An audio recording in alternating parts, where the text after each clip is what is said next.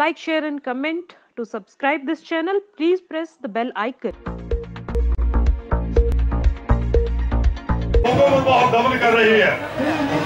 दमन जमहूरियत का कत्ल हो रहा है। लोगों को बांटा जा रहा है। आर्थिक शोषण हो रहा है। लेके सारे जिलों में और प्रांतों के अंदर पहले अलग अलग मीटिंग धरने और ऐसे मार्च किए। और सूबाई कन्वेंशन हुई। देश के लगभग सारे प्रांतों के अंदर पंजाब राजस्थान तेलंगाना इनकलाब जिंदाबाद एनसीबीआई जिंदाबाद इनकलाब जिंदाबाद मोदी सरकार मुर्दाबाद मोदी सरकार मुर्दाबाद फिरका परस्ती मुर्दाबाद किसान एकता जिंदाबाद। एमसीपीआई जिंदाबाद इनकलाब जिंदाबाद किसानों की समस्याएँ हैं, कश्मीर की समस्याएँ हैं, और इसी प्रकार जिस तरीके से लोकतंत्र की हत्या हम देख रहे हैं, जो महाराष्ट्र में नाटक हो रहा है, सरकार बनाने के मामले में, जिस तरीके से रातों रात मोदी सरकार, मोदी के चहते लोगों ने, मोदी के चहते राज्यपाल ने, जिस तरीके से वहाँ पर नंगा नाच किया, आज हम उसकी निंदा कर रहे हैं, और इसी प्रकार हम बेरोजगारी, जिस बेरोजगारी को लेकर के मोदी सरकार ने वादा किया था पिछले छः साल पहले कि हम पूरे नौजवानों को रोज़गार देंगे लेकिन आज हम देख रहे हैं जीएसटी और नोटबंदी लागू करने के बाद रोज़गार रोज़गार में जो लगे हुए लोग थे वो लोग भी बेरोजगार हो गए। इस तरीके से बेरोजगारी के खिलाफ बंद और बीमार उद्योग है जिसमें लाखों मजदूर बेरोजगार हो चुके हैं। चाहे वो किसी भी हिंदुस्तान के सभी स्टेटों में ये हालत है प्रॉपर आपके दिल्ली में भी बहुत सारे कल कारखाने बंद हुए हैं। हम चाहते हैं कि उन कल कारखानों में जो लोग बेरोजगार हुए हैं उनको रोज़गार मिले उनको रहने का साधन मिले उनके जो अधिकार है कानूनी अधिकार वो कानूनी अधिकार उनको मिले। अच्छा सर जैसे आप लोगों ने बताया कि तेरह मांगे लेके आप यहाँ दिल्ली के जंतर मंतर पर आए कितने सालों से ये मांगे आप लोग उठा रहे हैं? ये तो हम मांगे हमेशा उठाते आए हैं। जी तो और हमेशा सुनवाई हुई इस पे किसी भी कोई मांगे आप लोगों की पूरी हुई? होती है। ऐसी बात नहीं कि नहीं होती है लेकिन संघर्ष के बाद होती है। उसके लिए संघर्ष करना पड़ता है। यानी कि इसी उसमें आज यहाँ पे एक विशाल धरना प्रदर्शन आप लोगों ने किया। तो आज किसको ज्ञापन देंगे इन मांगों के लिए? इस मांगों के लिए प्रधानमंत्री जी को ज्ञापन देंगे। और इस धरने के अंदर हम ये तय करेंगे कि आगे हमारे हर स्टेट के अंदर इस प्रकार का आंदोलन हो धरने हो प्रदर्शन हो रैलियाँ हो और हम फिर मौका पड़ेगा तो फिर दिल्ली के जंतर मंतर पर फिर हाजिर होंगे। फिर लड़ेंगे फिर संघर्ष करेंगे और फिर आगे बढ़ेंगे। जी। सर क्या नाम है आपका? मैं कुलदीप सिंह। जी क्या कहना चाहोगे? जैसे आज यहाँ पे एक विशाल पार्टी का जनरल सेक्रेटरी नहीं है पार्टी का जनरल सेक्रेटरी हूँ। जी। हमने ये विशाल प्रोग्राम बनाया है। इस प्रोग्राम से पहले हमने जो तेरह मांगरी तैयार सूत्री मांग पत्र तैयार किया उसके ऊपर हर स्टेट में केरल में, बिहार में, पंजाब में, राजस्थान में और तेलंगाना में यहाँ पे उन मांगों का प्रचार किया स्टेट लेवल की कन्वेंशंस की। ये जो आज 25 नवंबर को धरना हम किए जा रहे हैं ये एक किस्म का शिखर है। इस धरने का कन्वेंशन का डिस्ट्रिक्ट लेवल के एक्शन किए।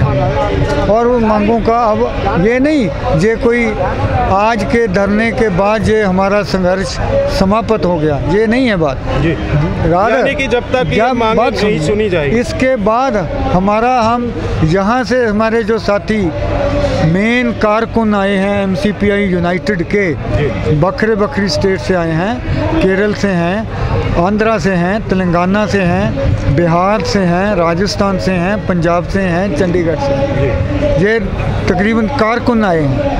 जिनको एक हम मैसेज देंगे, भी हमने यहाँ से जाके एक संघर्ष की कॉल करेंगे, ताकि वो जाके नीचे जाके इस संघर्ष को और ज़मीन, ज़मीनी पदर पर इसको लागू कर सकें और जो मांगे मानने वाली हैं जैसे एग्रीकल्चर के लिए हमने सेपरेट बजट की बात की। उसके ऊपर बहुत सारे अखबारों ने भी आर्टिकल लिखे।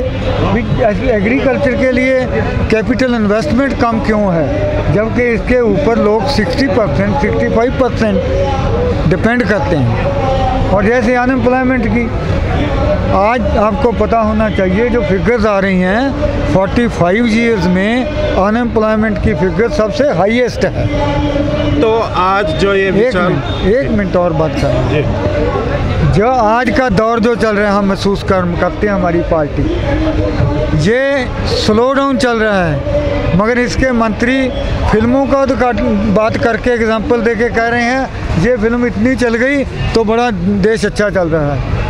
स्लो डाउन है डीमोनेटाइजेशन है उसका अजर असर आज जो है उसने स्लो डाउन में और मंदे को और मंदी को और बढ़ा दिया। और कोई कारोबार नहीं चल रहा। आज ऑटो सेक्टर और रियलिटी सेक्टर दोनों इतने 45 परसेंट डाउन आए अच्छा सर जैसे आप इतनी मांगे उठा रहे हो और एक संघर्ष कर रहे हो और हाँ, पार्टी भी आपकी हाँ, है हाँ जी। क्या आप लोग चुनाव लड़के सत्ता में जाके इन चीज़ों का निपटारा नहीं कर सकते?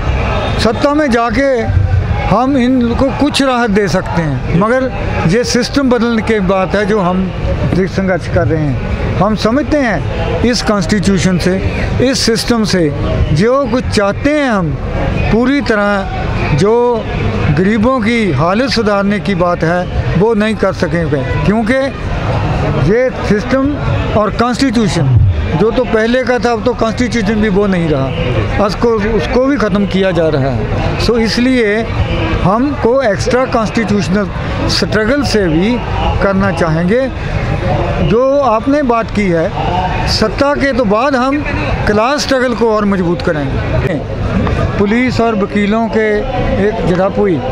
उसके लिए भी हम उसको कंडेम करते हैं और जो पुलिस का बिहेवियर है और सेंट्रल गवर्नमेंट का बिहेवियर है उसको स्ट्रॉन्गली कंडेम करते हैं। इसी तरह जो जेएनयू के स्टूडेंट्स के साथ हो रहा है वो भी हमारी पार्टी उसको बहुत कंडम कर रही है और स्टूडेंट्स के साथ है इसलिए जो भी ये उनका दखल हो रहा है जेएनयू में, जो सिविल लिबर्टी डेमोक्रेटिक राइट्स के ऊपर जो हमले हो रहे हैं देश में, उसके, उसको स्ट्रांगली कंडेम करते हुए हम उन सभी मूवमेंट्स के साथ सॉलिडेरिटी एक्सप्रेस करते हैं अच्छा, इनकलाब जिंदाबाद एमसीबीआईयू जिंदाबाद इनकलाब जिंदाबाद मोदी सरकार मुर्दाबाद मोदी सरकार मुर्दाबाद फिरका परस्ती मुर्दाबाद मजदूर किसान एकता जिंदाबाद एमसीबीआईयू जिंदाबाद इनकलाब जिंदाबाद Like, share, and comment. To subscribe this channel, please press the bell icon.